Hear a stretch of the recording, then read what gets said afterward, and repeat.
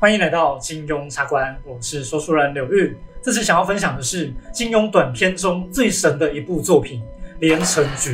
这里根本不需要加之一，金庸作品中最受欢迎的、反复翻拍的都是长篇小说，像《射雕三部曲》啦、《鹿鼎记》啦、《天龙八部》、《笑傲江湖》。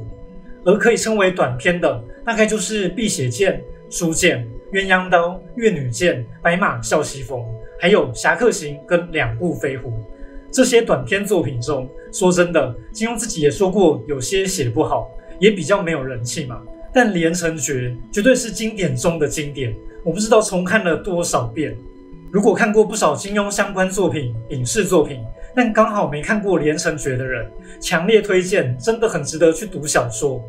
这集我尽量不讲太多剧情雷，简单分享《连城诀》到底有多厉害。为什么它在我心中这么神？以下分成三点来谈。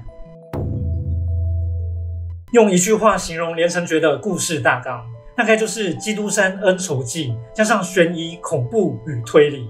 哇，听起来就超级好看的吧？金庸说过，他本来就很喜欢大众马的《基督山恩仇记》，《连城诀》中有一段在监狱的剧情，确实有那个味道。但金庸也回答说，不只是参考他而已。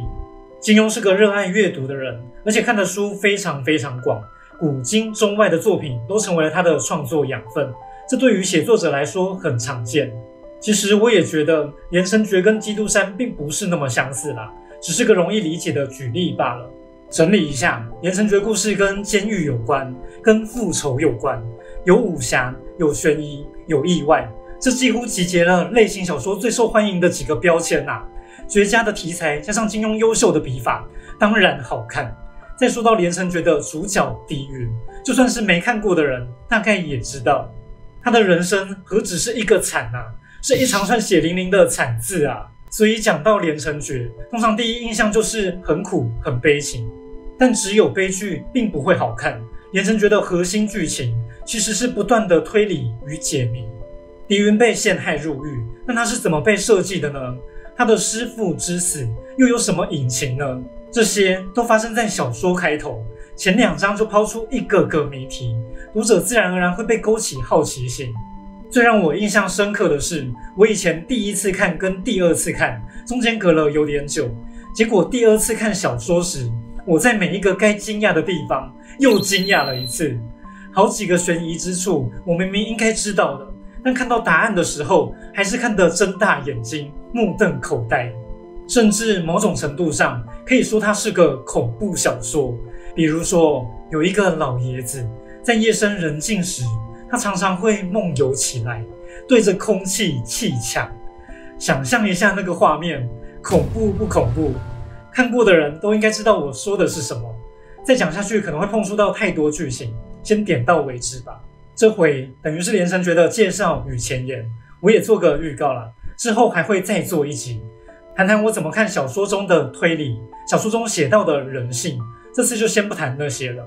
连城诀或许不能称为完美的小说，说真的，重看时我觉得有些地方还是稍显不合理，但这不影响其地位。他把江湖、人心、悬疑、推理多种元素融合得相当巧妙，这样的故事真的很特别。第二点，各位金庸迷有没有发现，连城诀的文字没有那么像平常金庸小说的文字？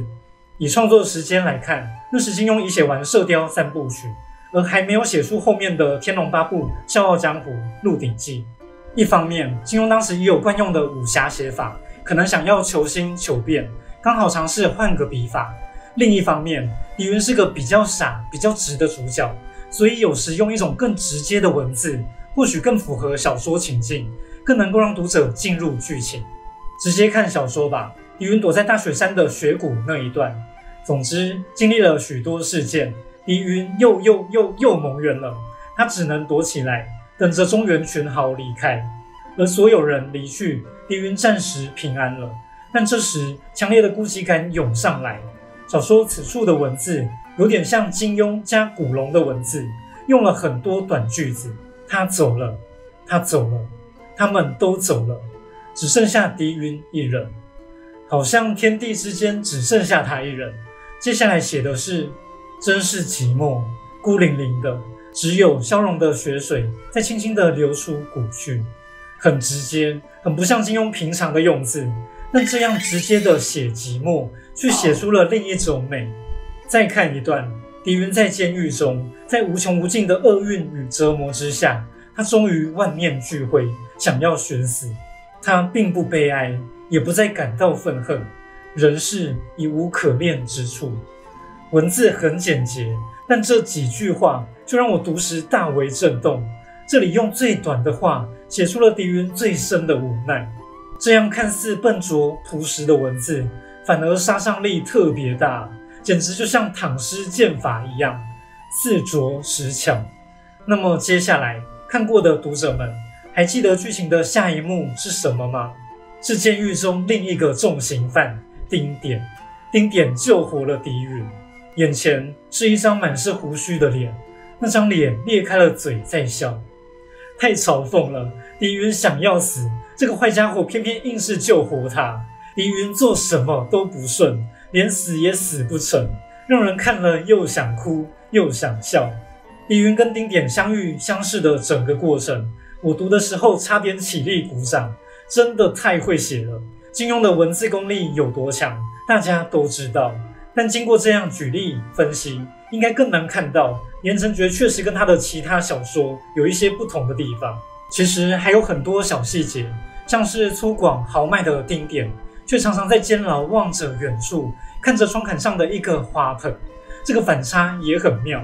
而且认识丁点之后，才知道他也是有故事的人啊。连城觉小说中有小说，故事中有故事。丁点的剧情，狄云的剧情，写尽了各种心酸无奈。这也是造就这部作品独特的原因啊。最后一点。如果询问广大读者们，请说出几个连城诀中你记忆深刻的段落。我猜应该有人跟我一样会想到一个名字——和珅。和珅是谁呢？是作者在浙江海宁老家的长工。是的，你没有听错，金庸老家是有长工的。不止如此哦，金庸他的祖父在一八八五年中举，后来又考中进士。一般往往都觉得清朝科举好像是非常古早的事，但说真的，清朝的尾声离现在并没有那么遥远。金庸在《连城诀》的后记写出了和珅的故事。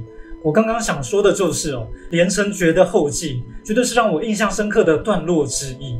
这整个小说的原型原来是真实故事。和珅身上有残疾，金庸小时候以为他天生就是那样。那虽然名为主仆，但他们感情非常好。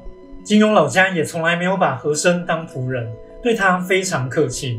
和珅的年纪很大了，有一次重病，他觉得自己时日无多，于是跟金庸讲了他过去的经历。原来他的驼背跟残疾不是天生的，他年轻时辛辛苦苦存了钱，不止被偷了，还被诬赖，又蒙冤，又被狠狠痛打一顿。身上遍体鳞伤，原本有个心爱的姑娘，也跟别人走了。这些让人痛心的事，竟然都是活生生发生过的。还有许多细节就不细说了，后记中都有写到。而和珅心中最感激的，就是遇到知县老爷，也就是金庸的祖父。金庸祖父知道和珅受了哪些委屈才入狱，后来他辞官回家时，索性直接将和珅带了出来。就让他待在家里。当然，连城诀小说还是跟和珅的故事有很大的不同，并不是靠着一段回忆就能写出好作品。关键还是在于作者的妙笔。只是说看完后记，或多或少也能理解金庸为什么这么会写。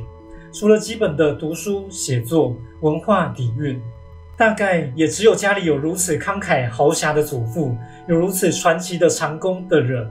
才可以写出这样的故事吧。今天的故事说到这里，如果喜欢这集影片，希望可以帮我按赞、留言、分享。还有还有，欢迎收听我的 Pockets 柳玉的金庸小剧场。之后还会有更多金庸相关作品的分享。